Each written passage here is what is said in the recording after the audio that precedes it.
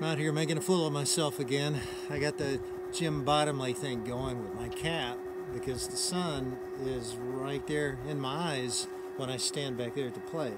But I'm going to try to do this in increments of five. I'm going to put five of these things in the little personal pitcher at a time. The first one's going to go past me before I'm ready because I'm going to put them in the fast loading side.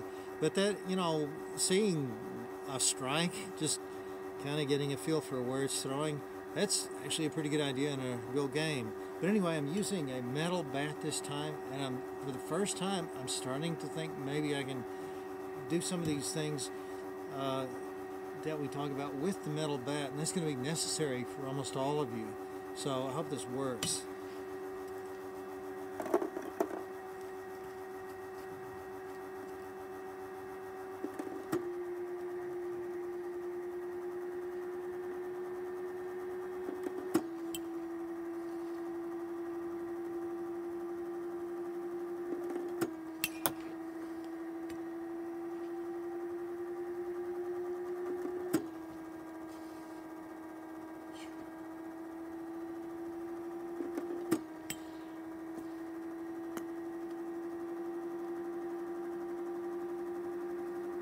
Five? Wow. Lost track of one.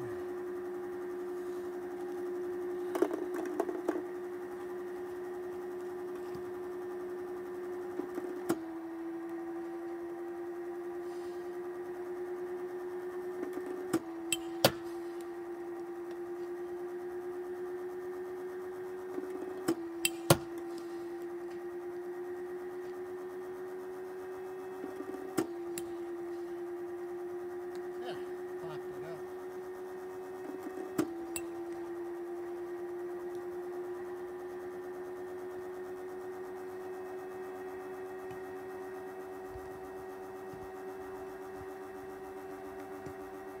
Can't count to five.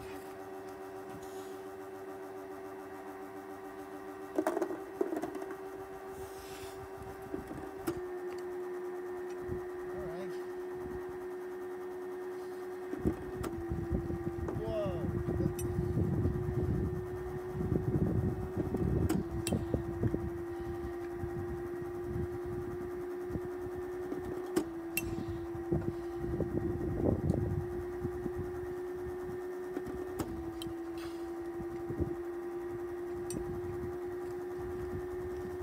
Okay.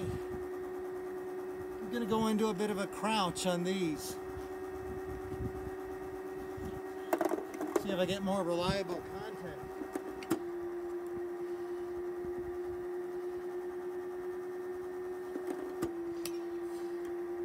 Popped it up.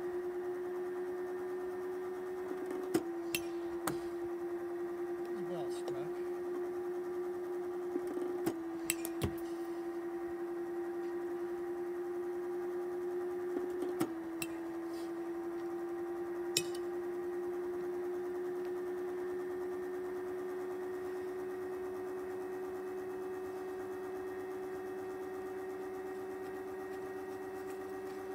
This metal bat, I'll explain this later, but I'm getting a lot more pop-ups than I ever used to do when I tried this with wood.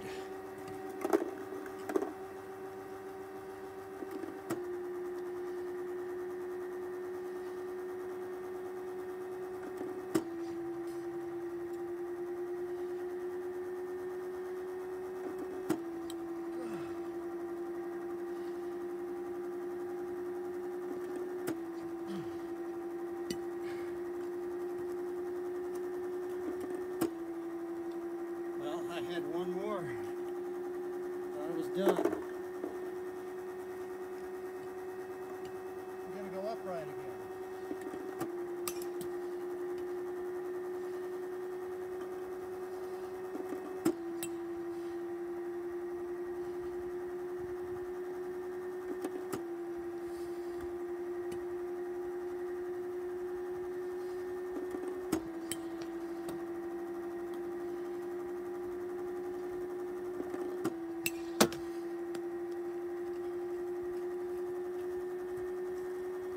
And maybe one more round.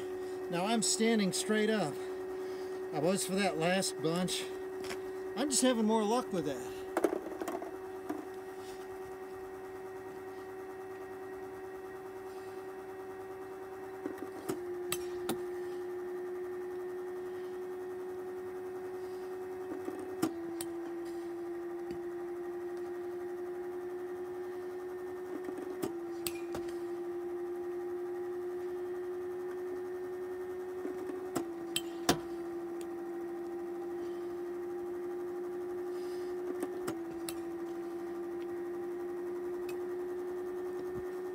Wish I could quit on a good one.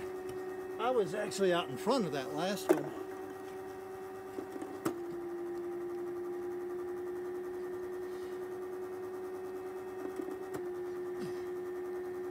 Really slow.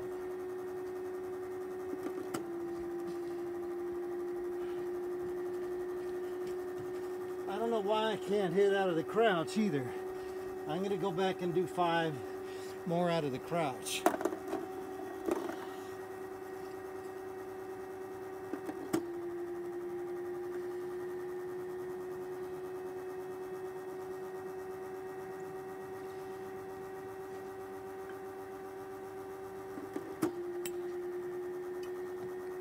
Come on, throw it.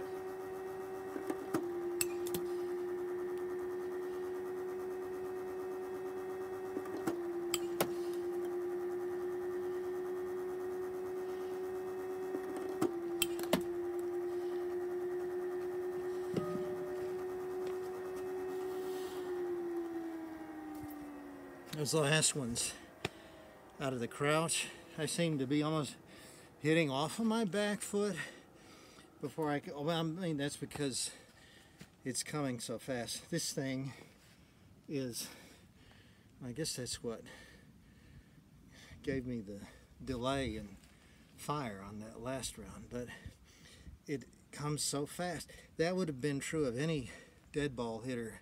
You can see shots of Ty Cobb, for instance, hitting off of his front foot, and then in another shot, he's leaning back like that. That's when the ball's really zipping in on you and it surprises you. That's what you do. You kind of hit off your back foot.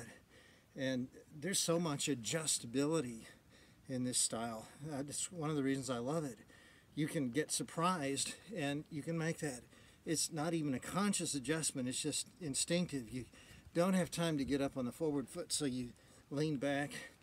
And obviously, you can still hit that way because that's the way most guys hit nowadays. But nowadays, they have to hit off the back foot. So when they get beat by a really good fastball, they're not even where they are where they have to be with the bat to make contact. This way you you can still whoops, I'm not going to get up on my front foot, but you can still hit off the back one and, and make some good contact. I was out of the crouch for some reason, especially I was hitting more grounders. I was topping the ball more, and when I stood straight up, which I actually am liking more and more, but I was hitting more pop-ups. Now some of those would have traveled a good way, and a lot of them were because I was I'm so close to this machine. I feel sure that the reaction time here is may this may be like the Aroldis Chapman. This is I'm so close to this dang thing, but uh, so I'm late on it, but I'm still. Some of those are going to be in play, and they're traveling a good bit. And I think what I'm finding is that you can use the metal bat. This is the problem is about balance. As I said in the first part of this two-part series, it, this is the trouble with any metal bat. It's going to be shorter than the old school wooden bats, and it's as light as this thing is. This is a 34, 31 ounce. As light as this is, it's still got all of its weight packed into the barrel. So you just you can't get the sense of uh, balance that you would with a wooden bat. But that doesn't mean that you can't do the the other things that we're showing. It's just I, I'm, I'm consciously, really consciously having to keep this bat when I do my sh shuffle step. Keep it forward, forward, forward. Even keep it down a little bit because when I'm ready to hit, all I have to do is just do the bottom hand and then come down. I don't have to lift the bat up. Just keep forward, forward, forward, and then and then that. And it's metal and it's big, and if you make that contact, uh, it's you're going to get a low line drive, or in some cases, okay, don't take some of these fly balls that I'm getting. Those are traveling too. I think you can, I think you can certainly do this with a metal bat.